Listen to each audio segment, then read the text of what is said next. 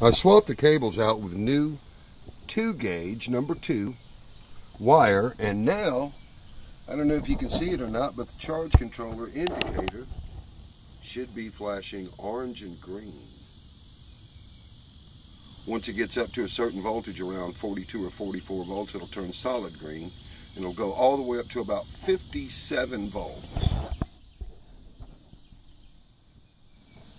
Some of these batteries were really bad. This first one had only 4.15 volts, the second 6.13, the third 2.01, the fourth 3.83, the fifth 6.79, and the one on the end, on the negative end, had 8.05. That's the only one that really uh, has 8 volts. These are 8 volt batteries.